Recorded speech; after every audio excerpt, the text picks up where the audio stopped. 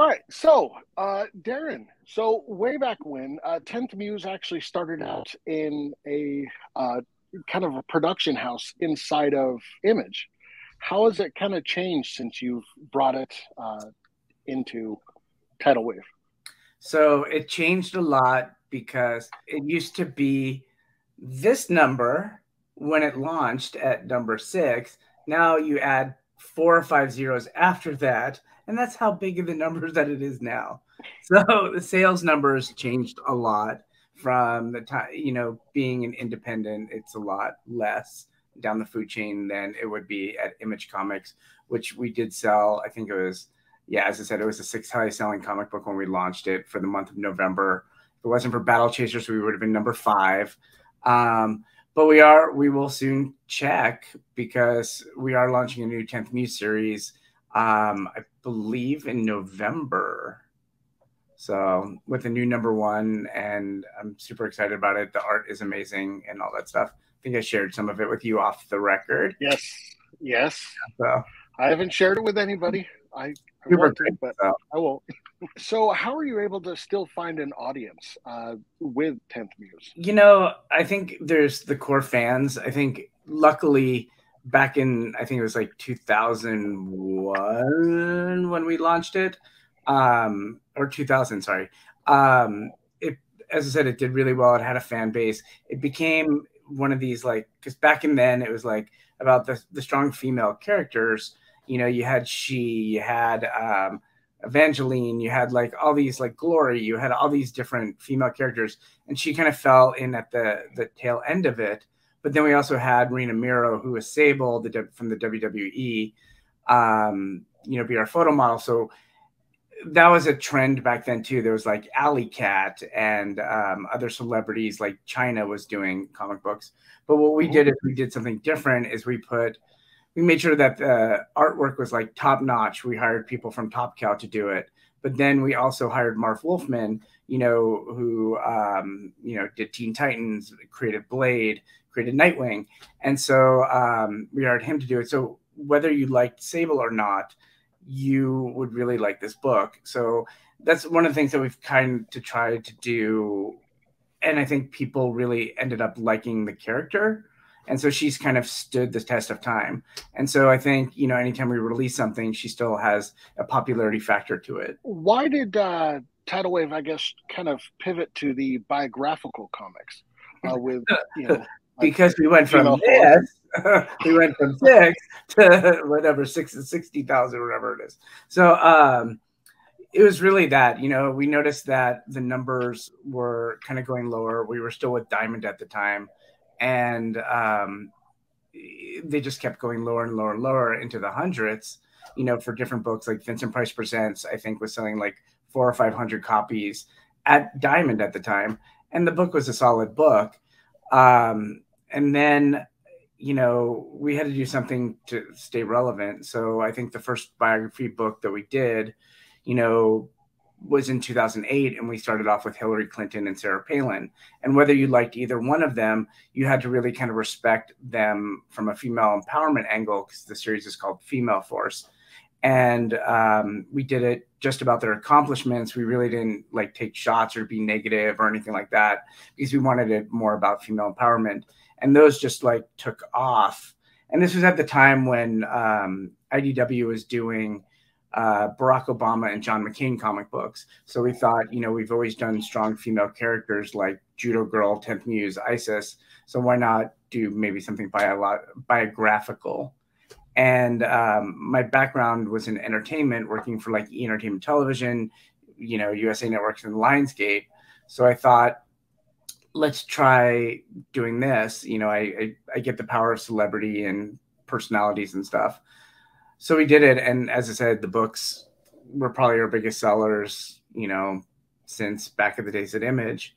So it kind of like shifted the way that we're actually going to do stuff. And so we still we became known as like the biography company because then we did our first celebrity comic book on um, I believe it was Michael Jackson. We did a tribute on mm-hmm. him and that book took off. So, you know, one of the things when I was a kid, I used to collect People mag, not People magazine. Yeah, I collected People magazine, Us magazine. I had every TV guide for like a six year, and then I had to move. So I was like, oh, those are gone. So I had TV guides, and I collected anything celebrity wise. And I was always, I lived in an area in California where they filmed everything. So the entertainment industry for me was just like white hot. And so I would always collect, you know, pinup books and that type of stuff. I was into Teen Beat magazine. So I thought, you know, why don't we start doing people like at the time Justin Bieber or Taylor Swift and for the fans. And so that's how those started taking off. And then we just started doing political books, and those had a world of their own. So it's been a lot of fun. And, you know, now I'm kind of, you know, picking people I kind of really want to do. So, and I do listen to some, you know, like fans and stuff when they say, do a Stevie Nicks book. And so we just did one of those. So I think that was the last one that just came out. So it's been okay. And they're fun. I mean, they're fun. They're yeah. They're yeah, I I enjoy them. I actually got your uh, your Betty White. Um, so yeah, I love it. well, some of the celebrities we do actually work with, and Betty White was one of the ones that we actually worked with. Um, you know, we donated at the time uh, to the LA Zoo, which is she was like a big member of. So, mm-hmm. so she signed off on the comic book. She liked it, and you know, when she passed away, we added four pages to it and made it into a tribute book. So, okay, which I can show you our newest tribute book that we just announced. it breaks my heart. Is that uh, Olivia Newton John? Yeah. So we have. Um, so we have that one, and then we have this cover too. Oh wow! Yeah, so this is uh, so what these actually are is we're actually testing out the foils so for the comic. So so the printer just sent me all these things. So you know that that actually really makes sense considering uh who she was that you yes. know the foil. Yeah, totally. Xanadu and all that stuff. Yeah, we have a special Xanadu cover coming too, which was my oh, favorite oh, wow. movie of all time. So so, like I mentioned earlier, Tidal Wave was originally uh, kind of attached to Image Comics. What was, uh, I guess, the deciding factor to go out on your own and to? so the the deciding factor to go out on our own. So we actually, ironically, and we can get into this too. So Tidal Wave actually started the company that it is now, which is still Tidal Wave actually started off as Tidal Wave, and then we transferred to Blue Water, and then we can talk about that afterwards. I was gonna bring that up later. yeah, so at Image Comics we were Tidal Wave, and I I wanted to grow as a company, and so what we did, our first book that we did was Tenth Muse. We did um, we sent them in a, a proposal to do Tenth Muse, a book called Black Tide, and the Dolls with Randy Green, who just got off of Witchblade, and Mike Miller was doing Black Tide. So we had like a really great slate. And I wanted to so then what happened is we were doing really well there. And then they offered us an image introduces, which was a basically a bunch of one shots. And so we mm-hmm. got to be part of that. I think there was like six of them. It was like a mini series. And so Legend of Isis was the first one that we did at Image Introduces. And so then I just kind of just kind of wanted to keep growing and doing more. And we got the rights to Tekken. And so we started, we did Tekken with them for one issue. And then I still wanted to grow and I wanted to be like a baby top cow. And we wanted to do Atlas there. We have, um, we had a couple other books that we wanted to do there. And they just, Jim Valentino was just not the, the, the coziest person to be working with. And we were getting because we also had the celebrity angle, which was Rena Mero, and she, we were trying to be respectful to Image Comics and saying, "Hey, we're doing a press release. We're going to be on Entertainment Tonight. Is this okay?" And I really didn't have to do that, and so we did it. And so we'd get all this press, and Jim Valentino called us punks at the time, and I kind of took offense to it. And I was like, "Well, we're just trying to." be a team with Image Comics, and that's why if you look at um, issues five and six of the original Tenth Muse series, we did a crossover with Savage Dragon and Tellos, which were mm-hmm. other Image Comics, because I always wanted to do crossovers and be part of like a big team with Image, and then. Um, then we actually got called into the office of I'll just tell you everything. Okay. It's 20 years ago. Um, he got called into the office at Top Cow because if you know anything about the 10th Muse, which is our main character here, she has mm-hmm. a lightning bolt on her face. And um, Matt Hawkins called me in and said, You know, I just have to say that Velocity has a lightning bolt too, and you're probably gonna have to change your book, and because it's kind of trademark infringed and all that stuff. And I'm like, really? And I looked at him straight in the face. I'm like, what's Ripclaw? And then he's like, oh, okay. And then he kind of just Ripclaw is the Wolverine character. So so that kind of just made him stop and he's he's been kind and nice ever ever since he's always been nice to me actually uh, but jim valentino it just seemed like he just like he just wanted to stamp on everything so which i get to a certain extent you know we ended up the dolls comic book if you look at the logo it's it's d-o-l-l-z he made us change it from an s to a z because he wanted his own stamp on it you know, Legend of Isis, he goes, just don't call it Dark Isis. And he always had something to say about everything that we did. And granted, he has been in the industry for a long time. And I took a lot of what he had to say to heart.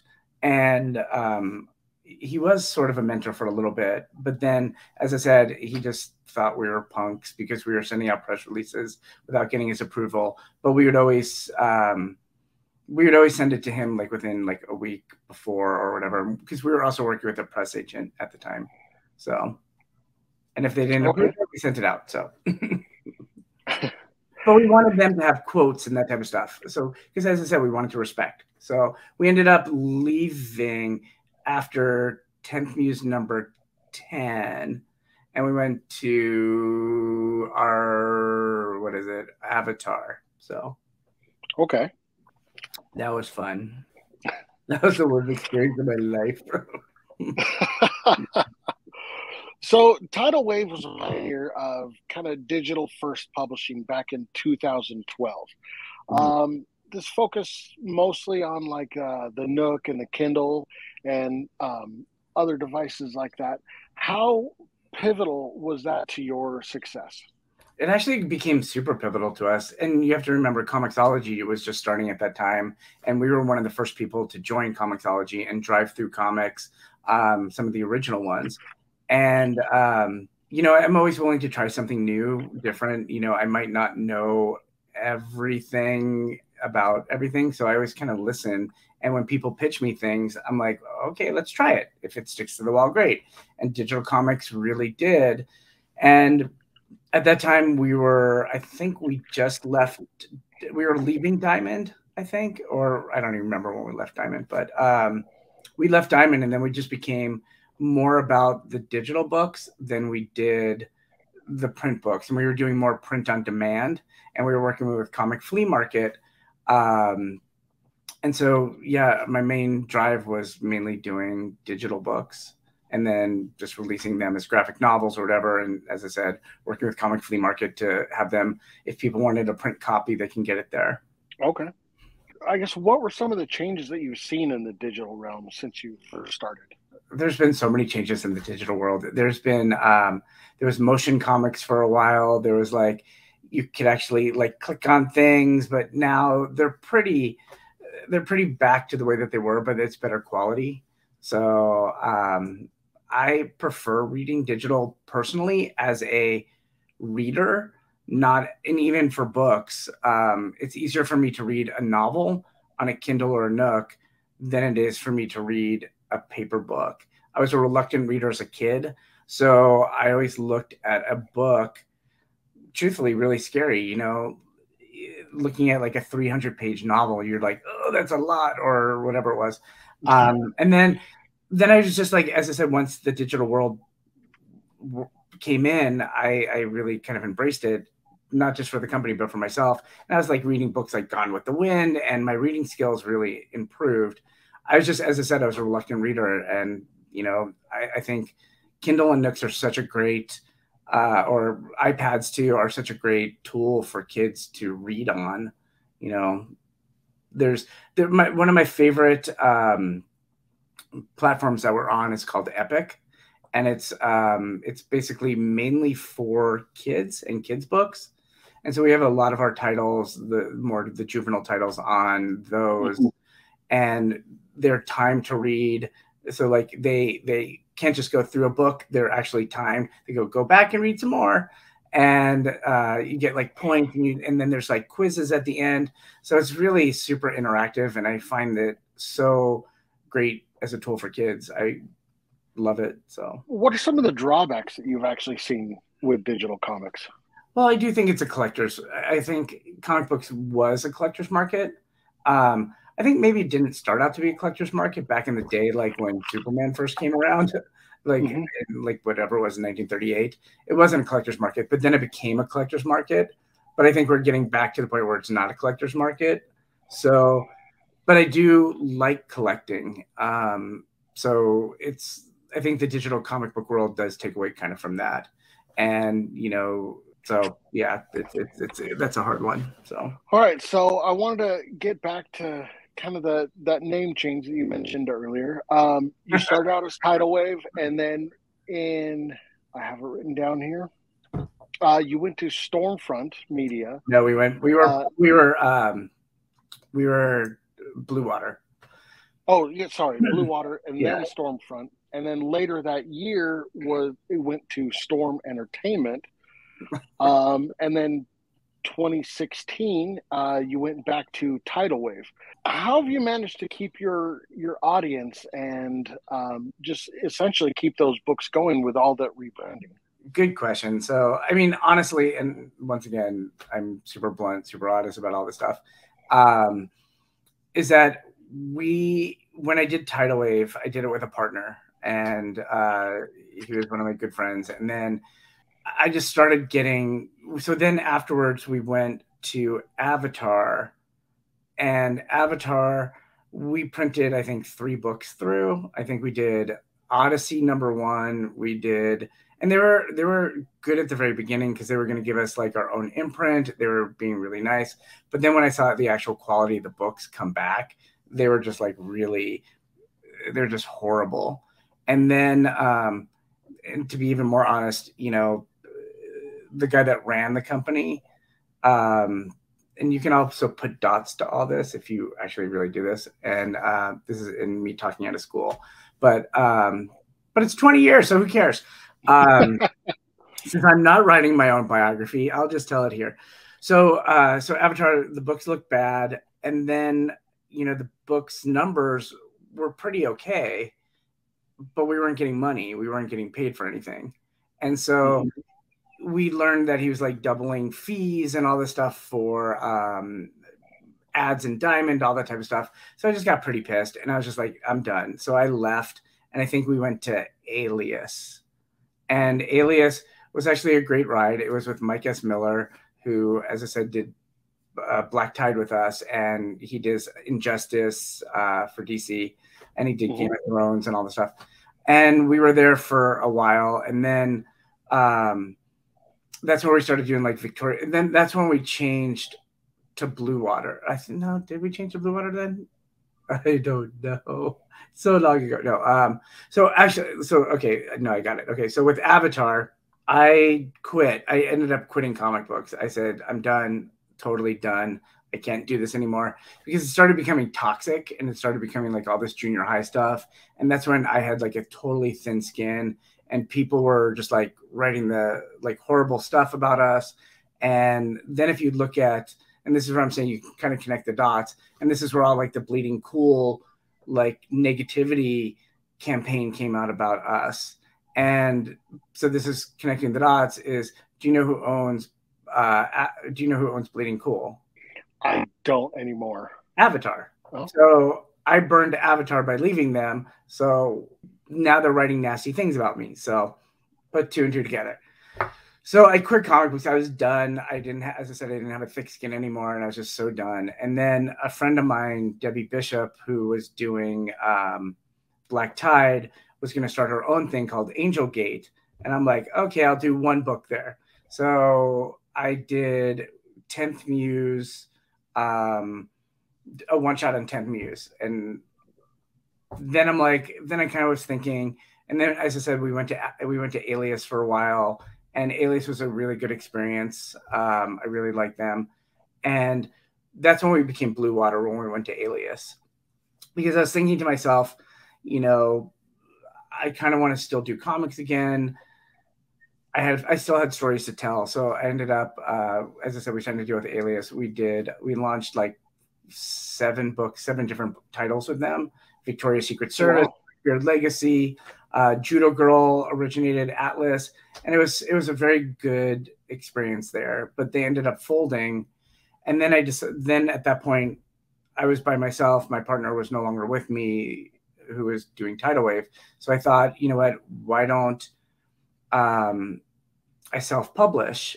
And the the the name the how Blue Water came is I was in a restaurant with my mom in Vancouver, BC, and we ended up um, we're at a restaurant called Blue Water, and it just felt right. And so I'm like, okay, I'm going to call this company Blue Water. And ever since then, it was Blue Water.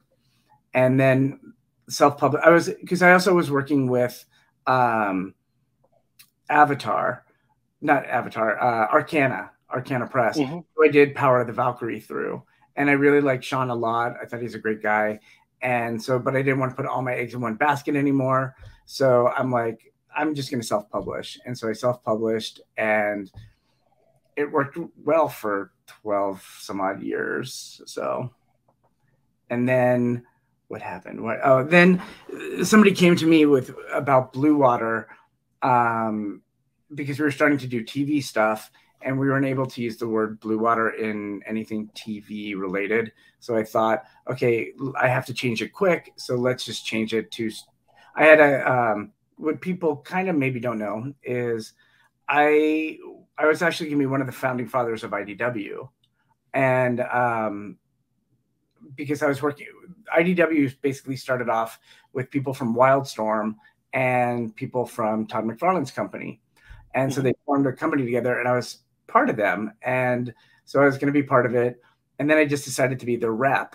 And so at the point, they weren't really publishing stuff. They were doing, you know, custom stuff, which is what I was doing at Wildstorm when I worked there. And so um, I ended up just being the rep, getting them jobs outside of comic books. You know, they were doing what I, I did, you know, at, at Wildstorm. And mm-hmm so then I formed a company with Alex Sinclair, who was working for DC, who's Jim Lee's colorist. And so he was doing DVD menus for us uh, or for me and formed the Stormfront Entertainment Company. And that was like 90, I formed Stormfront Entertainment, I think, in like, because it was my own company. And I formed it in, uh, God, I want to say it was like uh, 98, 99. So it was just this random, you know, company that I had that I would just do for tax purposes. I would do all my custom stuff through there because then I became like the rep for all the top people in the industry, like Joe Madureira and all this stuff. So I, I needed a company for that that was separate from the comic book stuff that I was doing. So going back to the Blue Water thing, when I had to change names, I'm like, oh, I have a name for I already have this IP already set up, all this stuff. Let's just call it Stormfront Entertainment. And then the kickbacks came and they're like, this is a white supremacist group. so, and if you look at what Stormfront Entertainment or Stormfront uh, or .org is on the internet, it is a white supremacist group. So, and then I tried like spinning that one, going, "Oh God, what about stormtroopers? You know, those are not." And then I'm just like, oh, "I can't win." So I'm like, and I was like clearly it was a mistake.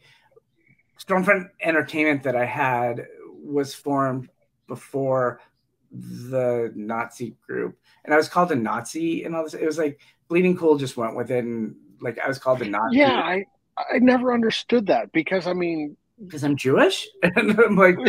You're like, like, the farthest, you know, from that group I've ever seen. You, it was before that group, and people mm. realized that that group had nothing to do with essentially comics and or oh you God. or you know there was no affiliation whatsoever just no and, of name right and they just spun it so then i thought to myself and at this point, I was just I started getting burnt out again on everything, and uh, I just got out of a relationship uh, that I was with in for 11 years. You know, he kind of screwed up some things in the company. I was getting super burnt out. I just didn't know what I kind of wanted to do.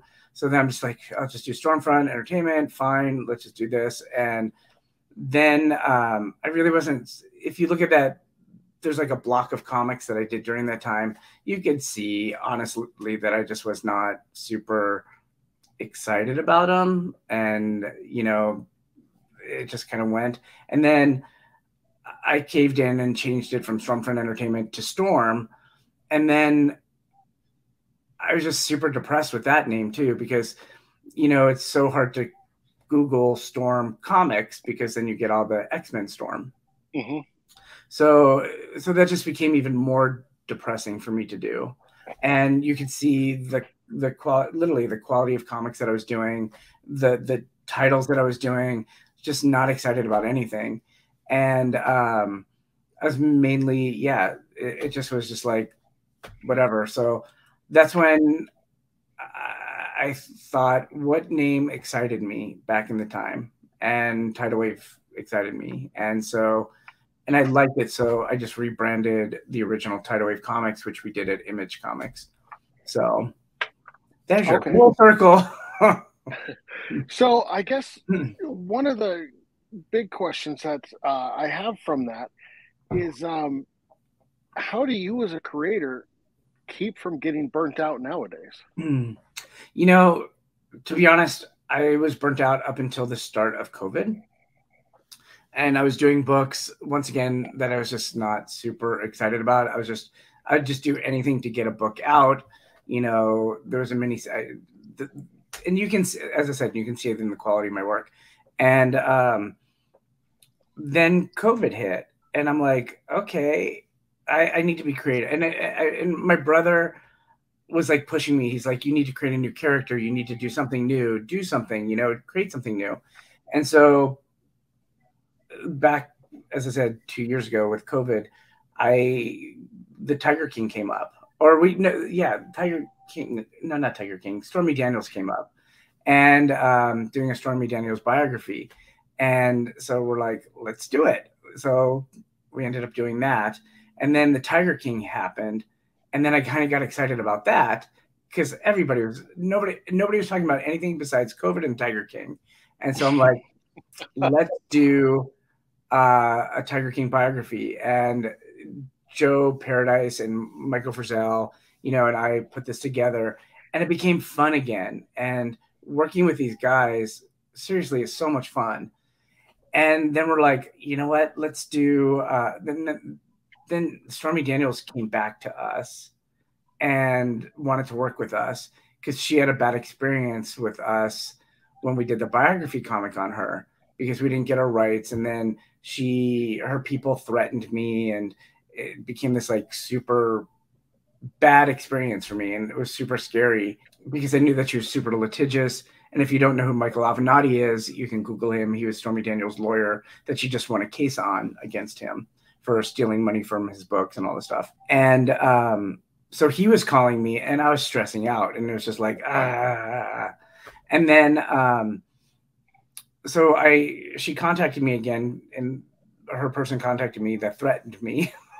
basically, he said, "You know, Stormy wants to work with you now. He she really liked what you did, and you weren't taking advantage of her." And I'm like, "Okay." So um, I'm like, "Okay." And so we redid the biography comic book with her, and she actually edited it, and then we added some new stuff into it, and then then I'm like, I don't want to be done working with you. So then we ended up creating, you know, Space Force with Stormy Daniels, which became like so much fun to create and put together with her, with Michael Frizell. And so once again, I got super excited about creating something again. Now okay. we're now we're here.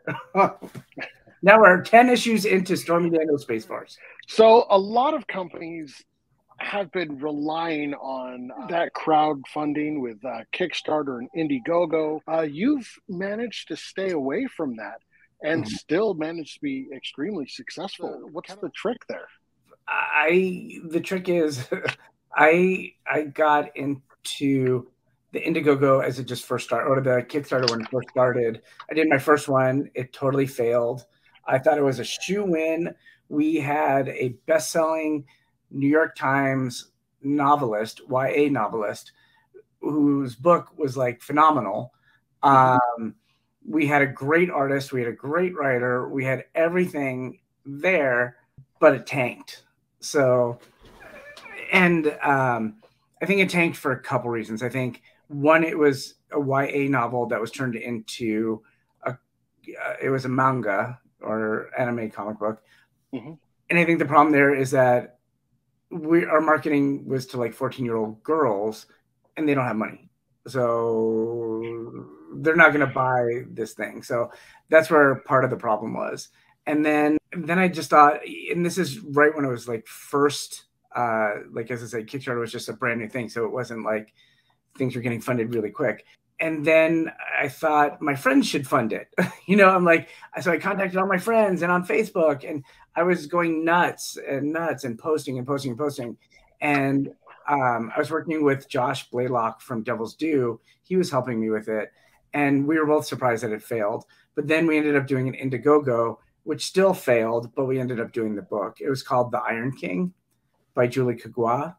And it came out, did a five, sold, and so I decided to never do one again because it was super stressful and I hated it. So all right. do you remember when you were a kid and you either had to sell wrapping paper or you had to sell, you know, candy bars door to door before your parents oh. would do it for you? Oh. Yeah, I remember those days. That's what I Kickstarter is for me. That's exactly what it was for me. okay. So you faced a lot of adversity from both media groups and political parties. Um, how has this affected tidal wave and i guess is it true that there's no such thing as bad press no there's such thing as bad press you know once again if because i don't i, I do still i do think i'm still sensitive i think you know me being a cancer you know has me being sensitive i i, I just think you know that's sort of my nature and when somebody writes something bad about me or the company or anything like that i do take I, my first thing is to go on the attack and go after it. Um, I don't do it anymore. I just think it's, um, I think it's, it's, it, the world has changed so much, like with Twitter and all the social media, that people can say anything they want without repercussions. And I just have to, you know, there's going to be another cycle like the next day if I don't respond or if I, you know, if it's something that I did wrong, I will own it and I will totally own it. And I'll either do some sort of an interview, you know, like with all the bleeding cool stuff, you know, I didn't want to do an interview with them. And I have done stuff with them before. Um, so I went to MTV, who at the time had their own website, and you know, I said exactly what it is. So I'm not, I don't hide away from things, but I'm also not going to shine big lights on them either. So, you know, people, I've gotten death threats. I've gotten, you know, emails. Yeah, I've gotten, gotten death threats over all this. Yeah, with an S. That's threats. Yeah, I've been. I've oh. Threats, so I especially didn't realize it had gotten that far. Yeah, especially with the political stuff. You know, um, it, like somebody changed my uh, Wikipedia. So when we did a Justin Trudeau comic book, and I, honest to God, and this is me maybe being super naive, I'm not a super political person.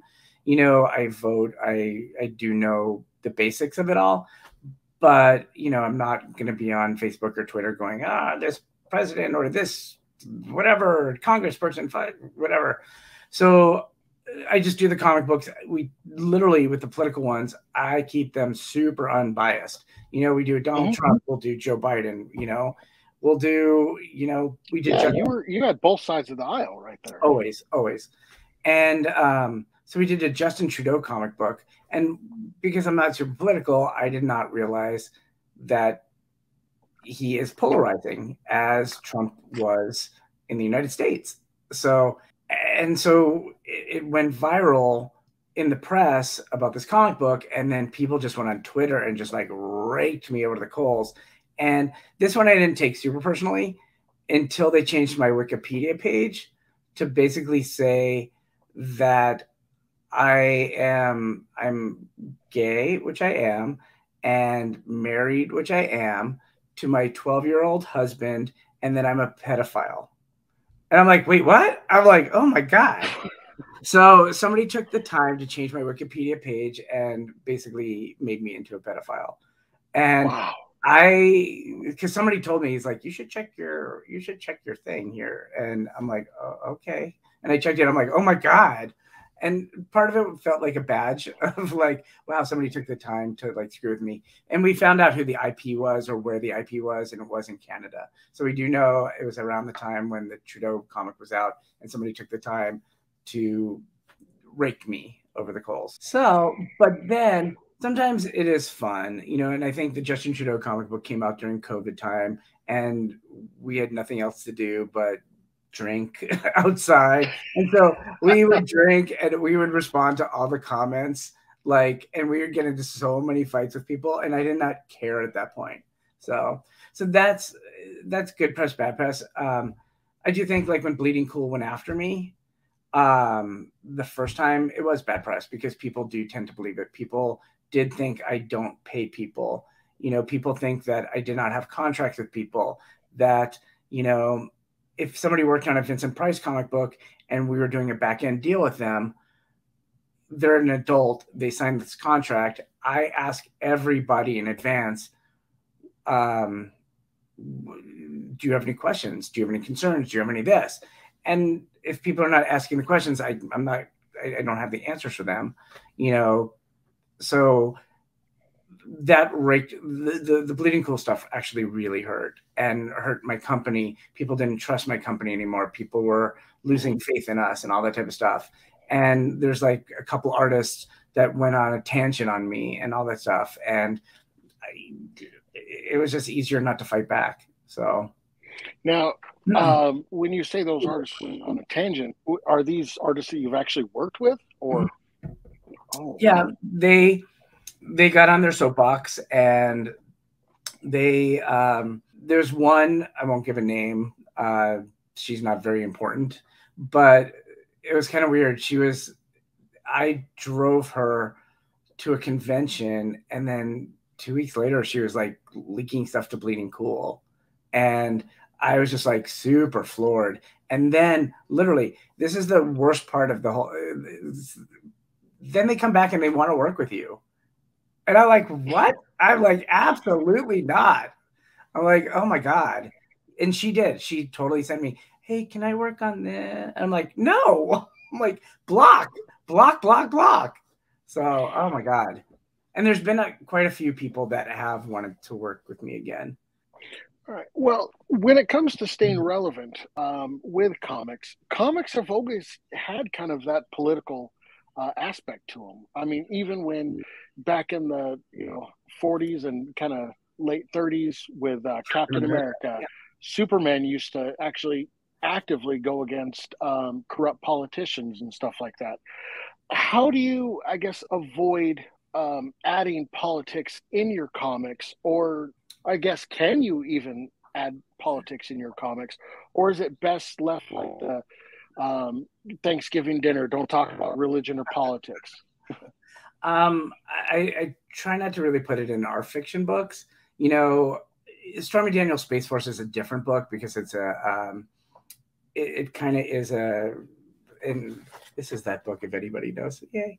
Um, but it is kind of like a spoof of what is sort of going on in the world.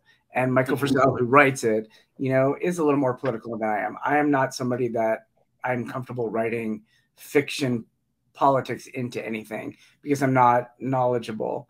You know, I think we did. I think back in the day we did our the first trans character, one of the first trans characters in comic books, and but my publisher at the time was very Christian and did not want that character in there.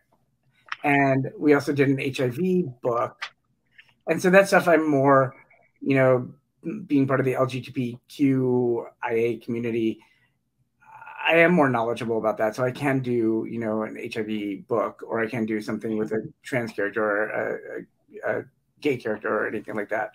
Um, but when it comes to politics, yeah, I'm not. It, it's it's right what you know, I guess, is a thing. So, but like with the political power, which is the nonfiction stuff, of course, I I there's some people I absolutely will not do as a comic book. You know, the the, the crazier side of things, I, I kind of try to stay away from.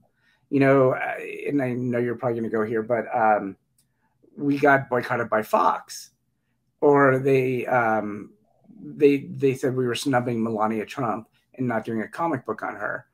And my thought process on that is that because they thought because we just released a Jill Biden comic book, and so at that point, you know, we did Hillary Clinton in the past, we've done Michelle Obama, we did uh, Nancy Reagan, and I'm trying to think who else we did. Uh, I think I, I, think that might be it for the first ladies. So we never really did a first lady series. We just did a Female Force series.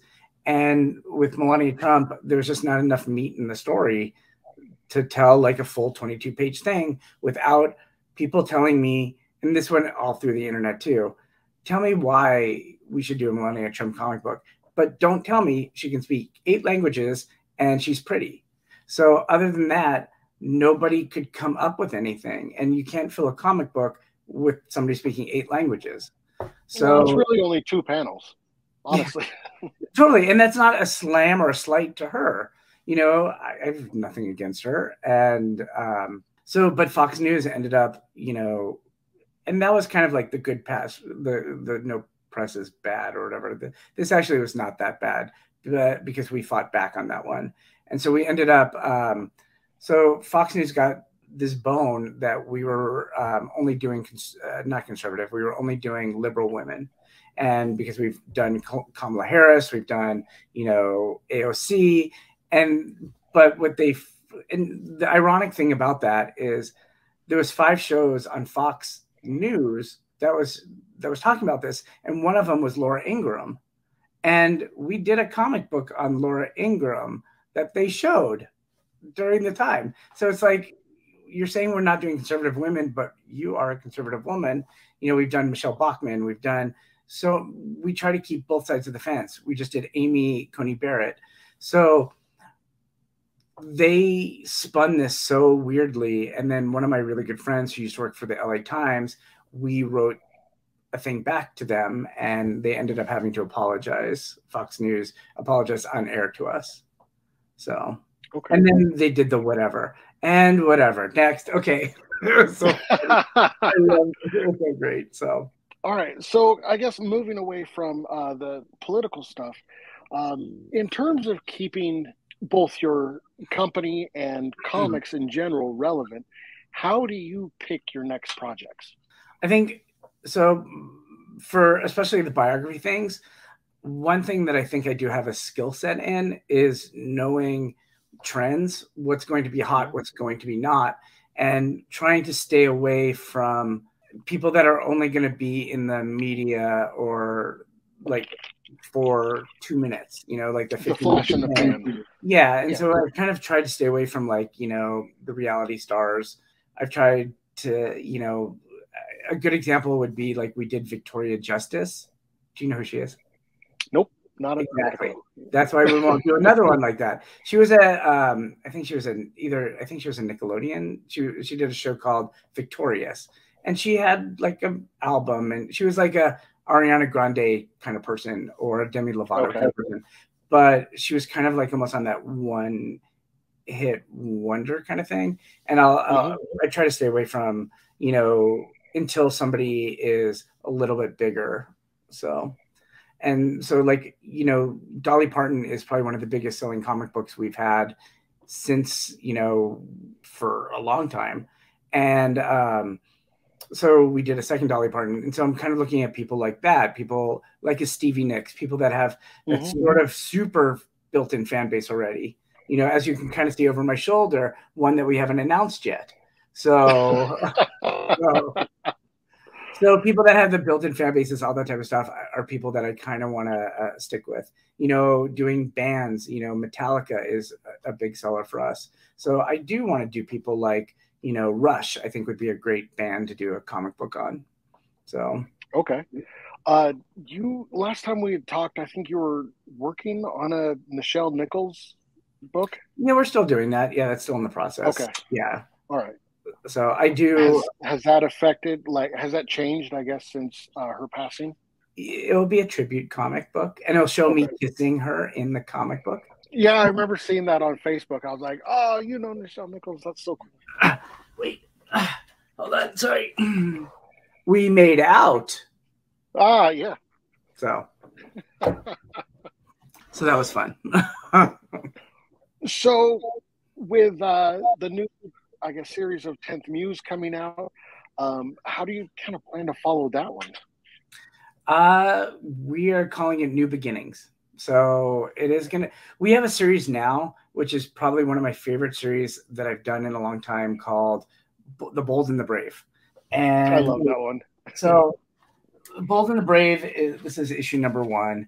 And mm-hmm. every single, every single comic book has an homage to the Brave and the Bold series with Batman back in the day um, from the 70s and 80s.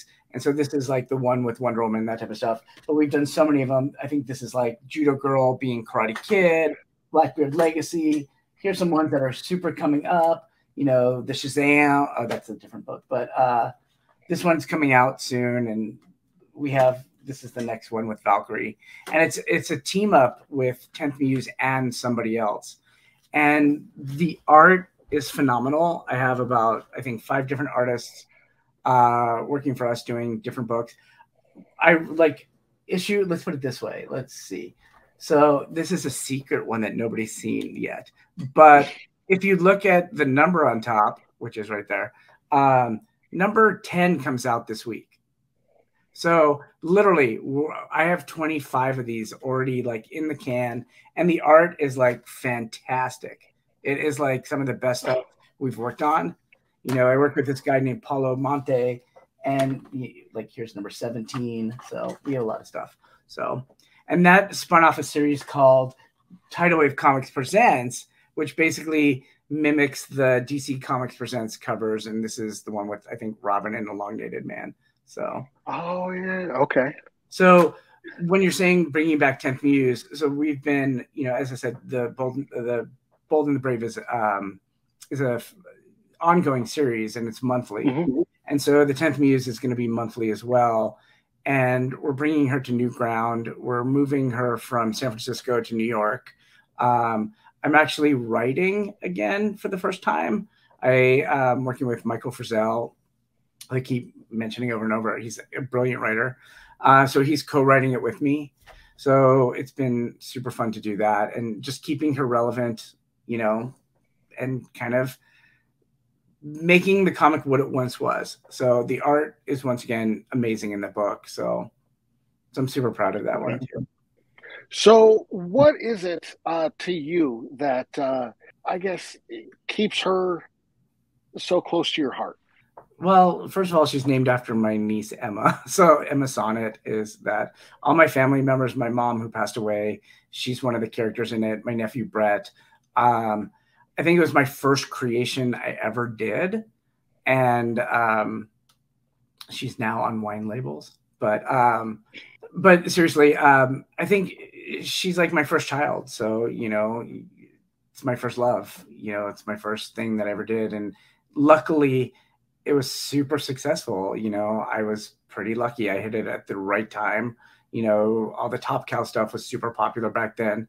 We kind of mimicked just how they do stuff, like super polished artwork with really good writing and that type of stuff. Mm-hmm. So we checked everything, and I, we're going to do that again with this as well. So, where can people actually go to find all this? We do sell mostly through Amazon and um, we are with Ingram, which is one of our distributors. Uh, comic book stores can get us. We are still 10 years with Comic Flea Market, so we still do exclusive covers and that type of stuff with them. Um, so yeah, 10th Muse number one will be out 22 years after her release to the month, which is usually wow. November. So okay, all right. Um, well, I guess that's everything that I have. Like I said, everybody like, share, subscribe, and uh, thank you so much for joining us today. I really appreciate it. Me. I appreciate you guys so much. So, oh, we love having you. It's awesome.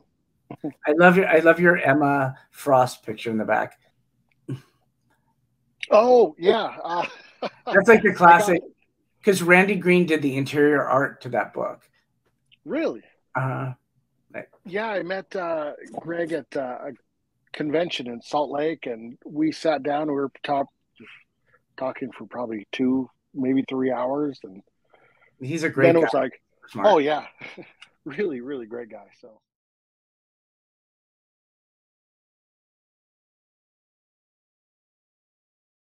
It sounds good. Matt, what happened to your your hand? Masturbation Electric accident. Scooter accident. Great. No, it was an electric scooter accident. So. Oh, God, you're one of those. You know, I drive a Jeep Grand Cherokee with a V8. So when the price gas jumped up, I I had to do something else. Okay, that's fine. That's fair. Is it a cool Raiders Razor scooter? No, it's it's actually uh, a little bit more powerful. Okay, good. ah, just just like a good crypto comics. what? What are you doing? I'm I'm getting water. my booze ready. Well, it's never a Darren thing without drinking. Jesus Christ. Exactly. I guess not at this point. I mean, this is going in the blooper reel. You know that, right?